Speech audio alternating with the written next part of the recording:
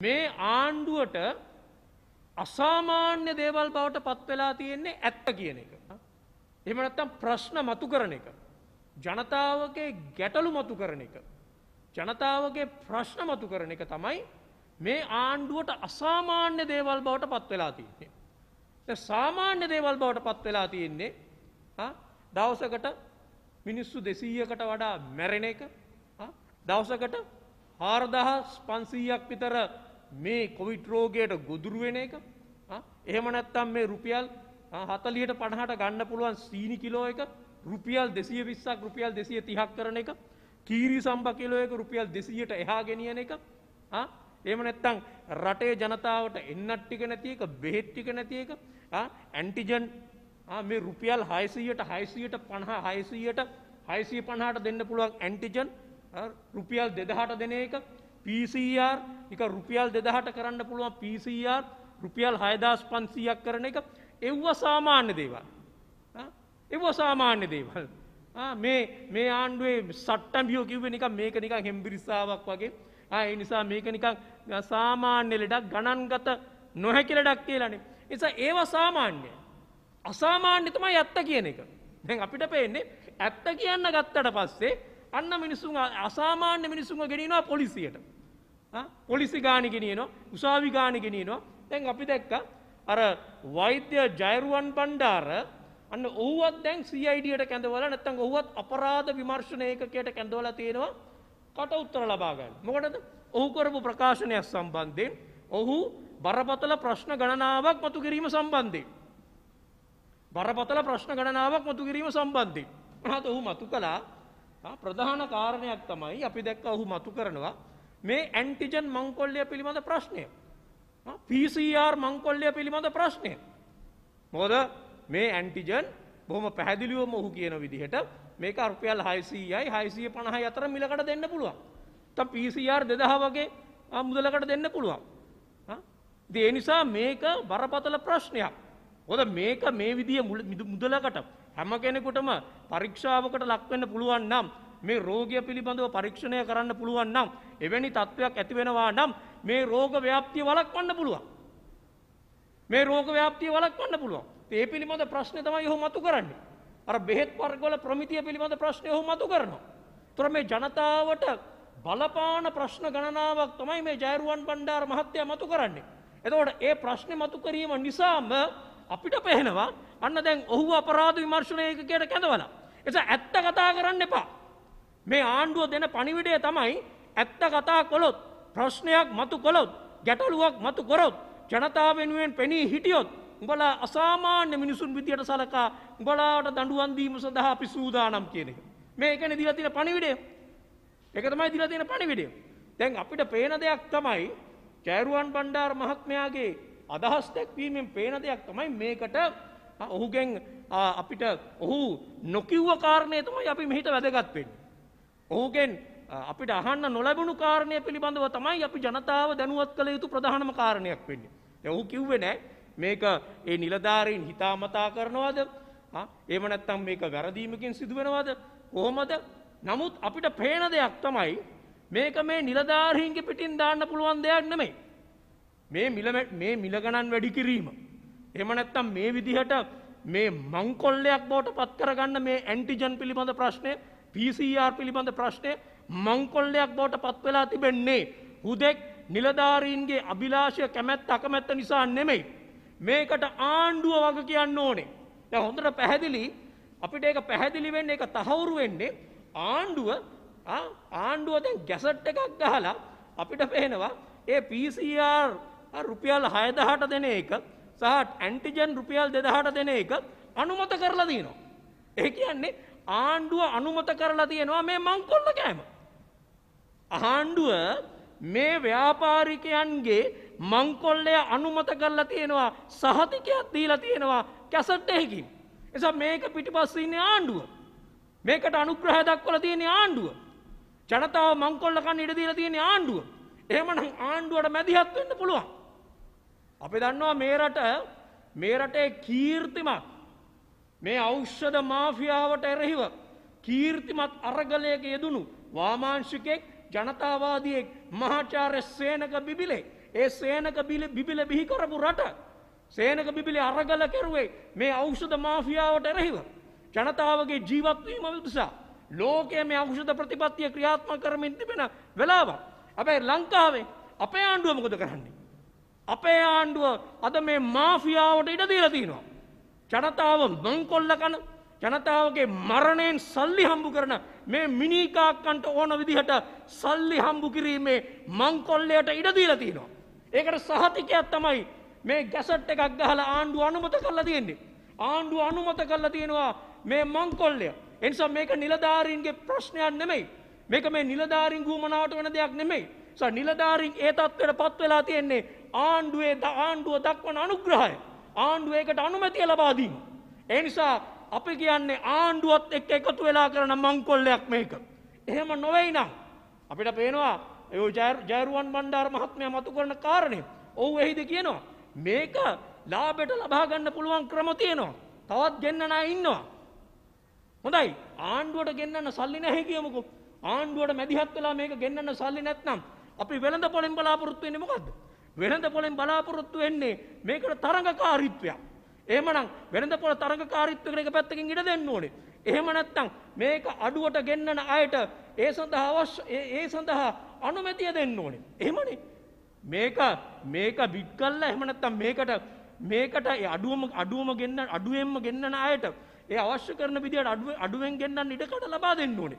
ඒ තරඟකාරිත්වරයට දෙන්න ඕනේ. ආණ්ඩුව එහෙම කරන්න නෑ ආණ්ඩුව හතර තියෙන ඒකාධිකාරයක්.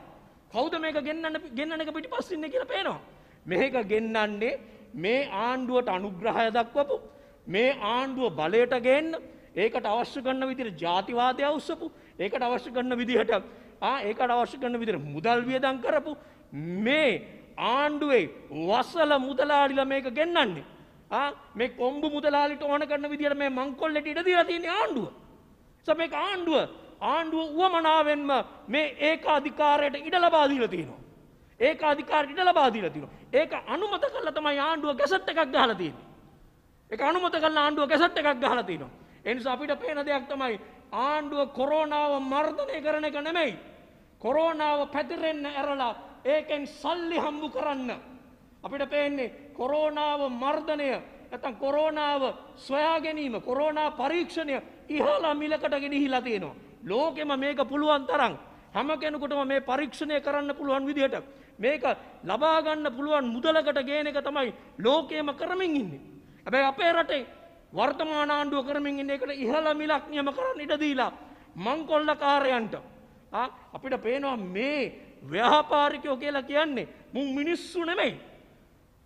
මේ ඇන්ටිජන් මුදලාලි කියලා කියන කෙනා. කොම්බු මුදලාලි කියන කෙනා. අපිට හිතෙන්න මේක මනුස්සයෙක් නෙමෙයි. මේක හුස්ම ගන්න මිනිහෙක් නෙමෙයි. මේක ලෝකේ කොහෙන් හරි පාත්වෙච්ච විලෝපිකෙක්. එහෙම හුස්ම ගන්න මිනිහෙක් නම් මව් කුසකින් ආපු එකෙක් නම් අඩුමතරමෙන් මේසා විශාල ගසා කෑමකට ඉඩ තියන්නේ නෑ මේසා විශාල විදිහට මිනිස්සුන්ගේ මිනි කාක්කෙක් බවට පත්වෙන නෑ මලමිනි උඩින් සල්ලි හම්බු කරන්නේ නෑ එනිසා අපිට පේනවා මේක ආණ්ඩුව ඒ සඳහා අවශ්‍ය කරන පරිසරය හදලා ඒකට අනුමැතිය ලබා දීලා තිනවා මේ කැසට් එකෙන්. කැසට් එකෙන් පෙන්වන්නේ ඒක කැසට් එකෙන් පෙන්වන්නේ ආණ්ඩුව තමයි මේකට සහතිකය දෙන්නේ අනුමැතිය දෙන්නේ කියන එක තමයි මේ පෙන්නලා තියෙන්නේ මේ පෙන්නලා තියෙන්නේ නිසා ඒක පෙන්නලා දීපු මිනිස්සයා අපි කියන්නේ ඒ පෙන්නලා දීපු මිනිස්සු මේකේ වැරද්ද පෙන්නලා දීපු මිනිස්සු මේක ගැටලුව පෙන්නල දීපු මිනිස්සුන් අන්න අද අපරාධ විමර්ශන කොට්ටාස වලට කැඳවල ප්‍රශ්න කරනවා. එහෙම තමයි උත්සාහ කරන්නේ. ආණ්ඩුව කොරෝනාව මර්ධනය කරන්න නෙමෙයි. ආණ්ඩුව කොරෝනාව මර්ධනය වෙනුවෙන් පෙනී ඉන්න මිනිස්සුන්ව මර්ධනය කරන්න සූදානම් වෙනවා. ඒක තමයි ඒ මිනිස්සුන්ව අද ගෙන්නන්නේ අපරාධ විමර්ශන කොට්ටාස වලට. ඒක තමයි ආණ්ඩුවේ වැඩේ. මේක තමයි ආණ්ඩුව කරමින් ඉන්න වැඩේ.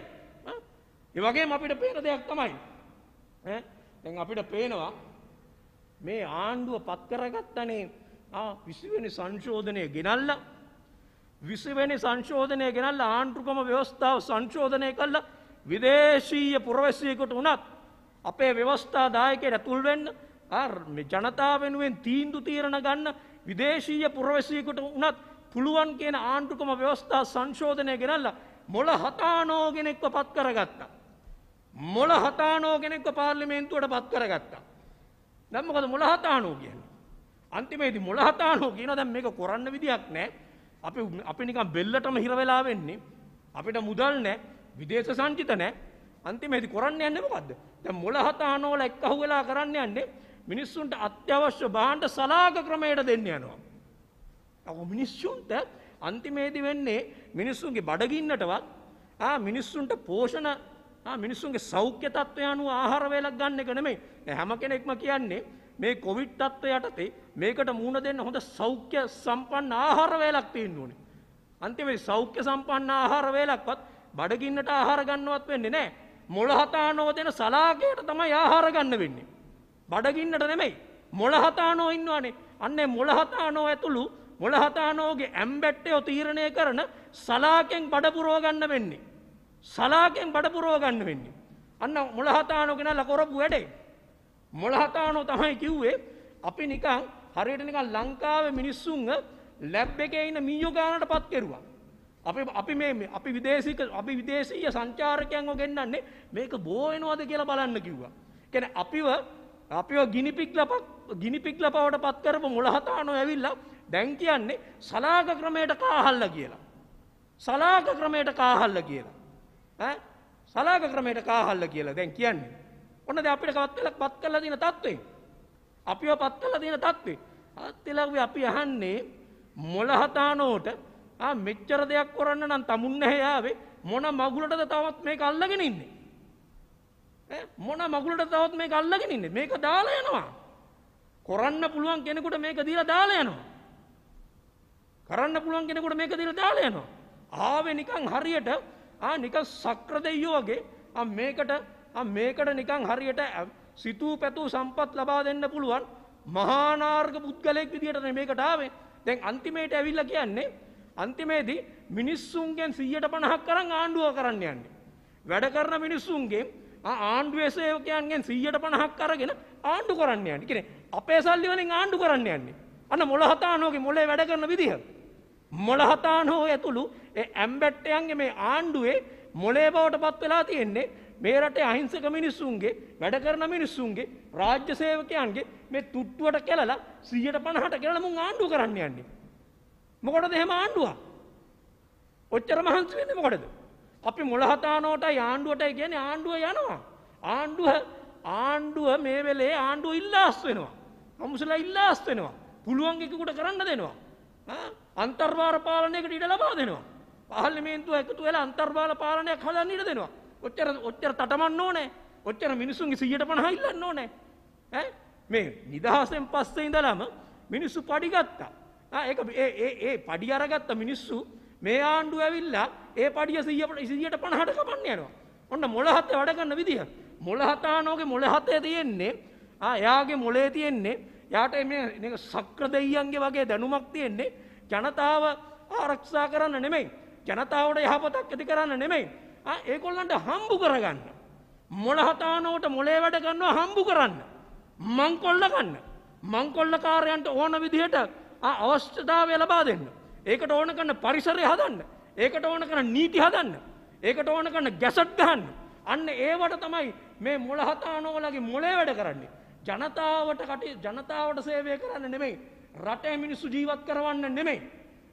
දැන් එහෙම දැන් එහෙම අන්තිමේදී මේ සලාක මේ මේ මොළහතානෝ ඇතුළු ආණ්ඩුව දෙන සලාක ටික කාලා ජීවත් වෙන මිනිස්සුන්ට අන්තිමේදී තුන් වේල කාගන්න බැරුව ඉන්න මිනිස්සුන්ට මෙන්න යකෝ ඊළඟට දෙන උත්තරේ තමයි ඕගොල්ලෝ නොකා නොබී හරි කමන්නේ නැහැ අපි හදන ට්‍රැක් වල දුවහන්නකෝ අපි හදන ජොගින් ට්‍රැක් වල දුවහන්නකෝ මේ මේ සලහක වලින් කාලා ඉන්න මිනිස්සුන්ගේ තෙලබස්සන්න තමයි අර පරාක්‍රම සමුද්‍රයේ ඉස්සරහා ජොගින් ට්‍රැක් එකක් හදන්නේ.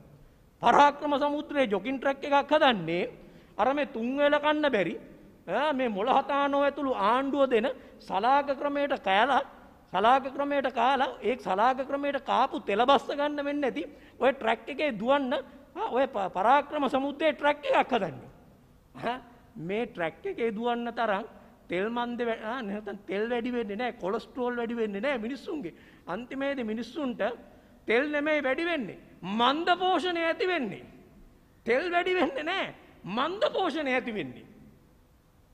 නිසා තෙල් අඩු කරන්න දුවන්න අවශ්‍ය නැහැ. තොල් අඩු කරන්න දුවන්න තියා මිනිස්සුන්ට කෙලෙන් හිට ගන්න බැරි වෙනවා. අපිට පේන්නේ ඒකනේ මාධ්‍යවලින් පළවෙන්නේ කැබිනට් එකේ සාකච්ඡා වෙන්නේ හාල් හිඟයි. හාල් ආනයනය කරන්න වෙනවා. අත්‍යවශ්‍ය භාණ්ඩ හිඟයි. ඒවට සල්ලි නෑ. හැබැයි එව්වට සල්ලි නෑ. ඈ මොළහතානෝට එව්වට සල්ලි නෑ. හාල් ටික ගෙන්නන්න සල්ලි නෑ. පෝර ටික දෙන්න බැරි. පෝර ටික ගෙන්නන්න සල්ලි නෑ. බේට් ටික ගෙන්නන්න සල්ලි නෑ. ඇන්ටිජන් ටික දෙන්න ගෙන්න ගන්න බෑ. ආ PCR කට්ටල ටික ගෙන්නන්න බෑ. වෙන්ටිලේටර් ටිකක් දෙන්න බෑ. ආ මේ මිනිස්සු පාරේ මැරෙනවා. මිනිස්සු පොලිමේ ඉඳලා මැරෙනවා. ඉස්පිරිතාල ගේට්ටුව ළඟ ඉඳලා මැරෙනවා. දවසකට 200කට වඩා මැරෙනවා. ආ 4500ක් විතර මේකෙන් ලෙඩ්ඩු බවට පත් වෙනවා දවස ගානේ. ඒ ඔක්කොම කරනවා. ඒවට උත්තර දෙන්න බෑ. ඒවට පහසුකම් සලස්වන්න බෑ. හැබැයි නොකා නොබී හරි කාහල් නොකා නොබී හරි කමන්නේ අපි හදන ජොගින් ට්‍රක් එකේ උඹලා දුවපල්ලා. ඔන්න හාන්ඩුවේ තියරිය. බල නොකා නොබී හරි කමන්නේ නෑ. බල නිකන් හරියට අර නිකන් පඬරල මොනවද නිකන් අපි කියන්නේ නිකන් නිකන් උඹලා නිකන් හරියට ඇවිදින ඇට සැකිලි වුණත් කමන්නේ. අපේ අපි හදන ජොගින් ට්‍රැක් එකේ දුවහල්ලකෝ මේ මොකද්ද? මේ තවත් සල්ලි හම්බු කිරිල්ලක්.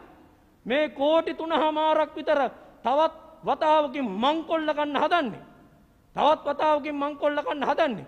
ඈ ඇත්තරම මේ ජොගින් ට්‍රැක් එක දිහා බැලුවාම පරාක්‍රම බාහු මහරජුරුවන්ට හිතනවා ඇති ඔය ජොගින් ට්‍රැක් එක දිගේම දුවලා ඇවිල්ලා මහා පරාක්‍රම සමුද්‍රයට පනින්නයි ඒ මහරජ්ජුරුවන්ට හිතනවා ඇති පරාක්‍රම මහරජ්ජුරුවන්ටත් හිතනවා ඇති පරාක්‍රම බාහු මහරජ්ජුරුවන්ටත් හිතනවා ඇති අත්තිලව්වේ මේ වගේ පුස්නාම්බුව ටිකකටද මේ වගේ පොළොස් කොට්ටෝරුව ටිකකටද මේ උරුමය මම හදලා දුන්නේ කියන එක.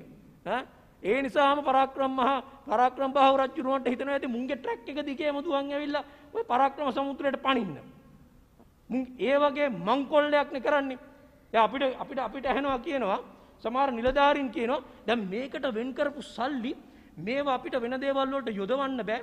මේවට අපි වෙන් කරගෙන තියෙන්නේ. අපි අහන්නේ කවුද වෙන් කළේ? මහා බ්‍රහ්මයාද මේ සල්ලි වෙන් කළේ? මේ සල්ලි වෙන් කරේ මහා බ්‍රහ්මයාද?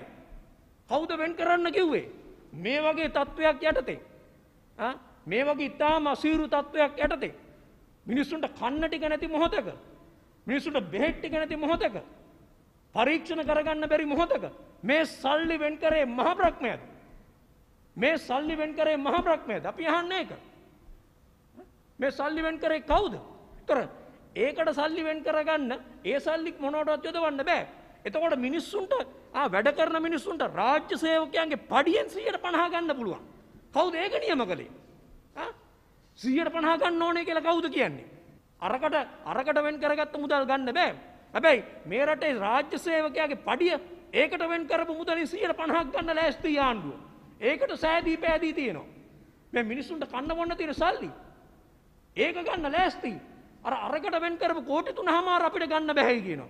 මොකಾದ මේ? කවුද මේ? මේ හොරකම් කරන්න. මේ හොරකම් කරන්න. ඒ නිසා තමයි අපි කියන්නේ මේ ආණ්ඩුව විලෝපිකයන්ගේ ආණ්ඩුවක්. මිනිස්සු හුස්ම ගන්න එවුන් ඉන්න ආණ්ඩුවක් නෙමෙයි. මව්කුසෙන් ආපු එවුන් පාලනය කරන ආණ්ඩුවක් නෙවෙයි. මේක විලෝපිකයන්ගේ ආණ්ඩුවක්. ඈ ඉතින් අපිට හිතා ගන්න පුළුවන් මිනිමරුවයි, හොරුයි, වංචනිකයෝයි, කුබාඩි, මුදලාලිලයි, මංකොල්ලකාරයෝයි මේ මුන් පාලනය කරන ආණ්ඩුවකින් මීට වඩා හොඳ දෙයක් බලාපොරොත්තු වෙන්න බෑ. මීට වඩා හොඳ දෙයක් බලාපොරොත්තු වෙන්න බෑ. ඒ නිසා උන්ගේ මංකොල්ල කන එක, හොරකම් කරන එක, නාස්තිය, දූෂණය ඒවා තමයි සාමාන්‍ය දේවල්. හැබැයි කවුරු හරි කතා කරොත් මේ රටේ ජනතාව වෙනුවෙන් ඌ අසාමාන්‍ය මිනිහෙක්. ඒ නිසා ඌව ප්‍රශ්න කරන්න ඕන එකේ. අද ඒක තමයි ඇති වෙලා තියෙන තත්ත්වය.